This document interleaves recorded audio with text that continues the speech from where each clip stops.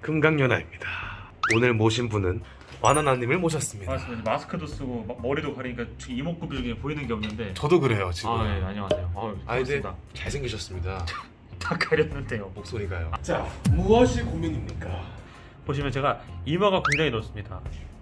음. 끝이 여기 있어요. 이마가 깊은데 이제 앞머리가 제가 모발이 만져보시면 아시겠지만 얇은 편이에요. 예. 가늘고 그래서 이제 또 약간 반곱슬기도 있고 하다 보니까 뭔가 뭔가 이렇게 쉼표나 네. 뭐 이렇게 머리 까는 스타일 해본 적이 없고 늘 이렇게 앞머리를 가르마다 이렇게 내리는 스타일로 해왔었는데 네. 늘 약간 소프트 투블럭으로 했던 상태입니다. 예. 자 보시는 것 같이 좀 상담 중에 말씀이 굉장히 자연스럽게 본인 머리를 풀어내가고 있습니다. 이런 성향 같은 경우에는 본인에 대한 불만이 많은 거예요. 특히 머리에. 그리고 할 말도 아주 많은 타입이고요. 대화를 하다 보면 한도 끝도 없이 나올 거예요. 왜냐면은 baby, 애기니까. 자 그러면은 요번에 이제 여름도 됐기 때문에 네. 2021년 여름 딱 맞춰서 할 수 있는 헤어스타일을 제가 오늘 한번 맞춰서 해볼게요 아주 무난하지만 디테일이 살아있는 2021년 여름 헤어스타일. 지금 바로 와나나님과 바로 시작하겠습니다. 예. yes 여기서 잠깐!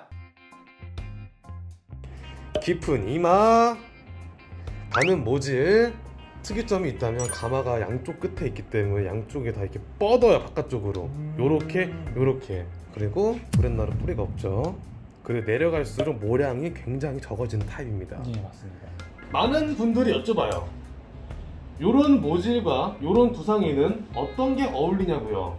어떤 게 어울리기다 보다는 눈한번 보니까 이렇게 해드리고. 투블럭보다는 원블럭이 적합합니다. 왜냐면 옆에가 들어갔고 모질 자체가 가늘기 때문에 굳이 투블럭 할 필요가 없어요. 그리고 커트 하실 때 요거 여기를 건드시는 분들 은근 있어요. 여기 건들면 큰일 납니다. 그리고 건드려지게 되면 없어지게 되면서 더 넓어 보이거든요. 건들지 않는 게 좋습니다 어떻게 보면 와나나님은 남겨서 만들어내야 되는 스타일인 거죠 아이고 아야 아야 아야 혹시 어디 아파요? 아니요. 괜찮죠? 네.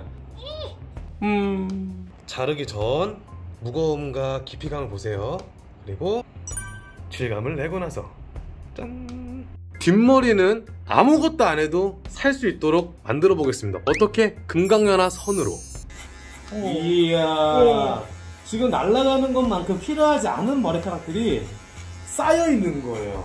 얼마나 답답했겠어. 각도를 어느 정도 줬기 때문에 동시에 층을 내면서 길이감을 조정하는 거라 이렇게 하고 났을 때 중간에 비어있는 한 1에서 2cm 정도의 부분만 면치기를 치거나 하면은 깔끔하게 손이 나오겠죠? 음... 커트만 했습니다. 아무것도 안 했고요. 여러분들께 결과를 보여드리겠습니다. 뾰로롱.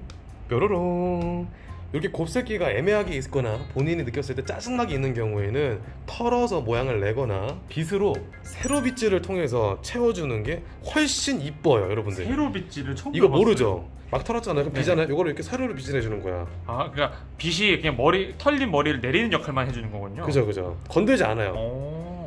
음 가지고 계신 곱슬 너무 예뻐요 어, 예, 약간 이게 어떻게 자르냐에 따라서 이 악마가 되기도 하고 천사가 되기도 하고. 음. 요 정도면 딱 좋을 것 같거든요. 어, 2021년 여름 남자 헤어스타일. 끝.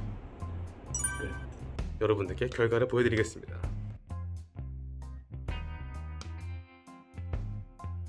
제가 늘 말씀드렸듯이 제가 앞머리가 머리숱이 많지가 않고 그다음에 이마가 깊기 때문에 뭔가 조금만 잘못하면 이게 앞머리가 십- 비어 보이기 십상이었거든요. 네네. 근데 아까 지그재그 컷이라고 하셨나요? 네. 그걸로 해가지고 오히려 이 안쪽을 좀 채우면서 요 끝만 어머 어머. 어떻게 나 이렇게 캐치를 했대. 이거 그러니까 이게 비어 보이진 않는데 시원해 보여요. 아까 어머. 말한 대로 진짜 여름 스타일로. 맞아요. 오랜만에 여러분들께서 공감할 수 있는 머리 스타일로 인사드려봤습니다. 앞쪽이 가볍긴 하지만 가벼운 정도가 살짝 살짝 보이는 정도의 비어있는 공간이고 위쪽에 있는 부분은 그대로 층이 안 난 상태에서 긴 느낌을 연출할 수 있도록 부담 없는 밸런스형입니다. 그리고 뒷머리 같은 경우에는 아시겠지만 모양 자체를 높게 올려친다기보다는 그 튀어나온 이쪽 공간에 선을 얹어줘서 무겁게 떨어뜨린 다음에 아래쪽을 올려쳐서 모양을 만든 것이죠. 제일 중요한 옆머리 같은 경우에는 원블록으로 기본적인 볼륨선을 잡아준 상태에서 길이감은 유지하되 질감만 쳐내서 모양을 빼드렸습니다. 요렇게요.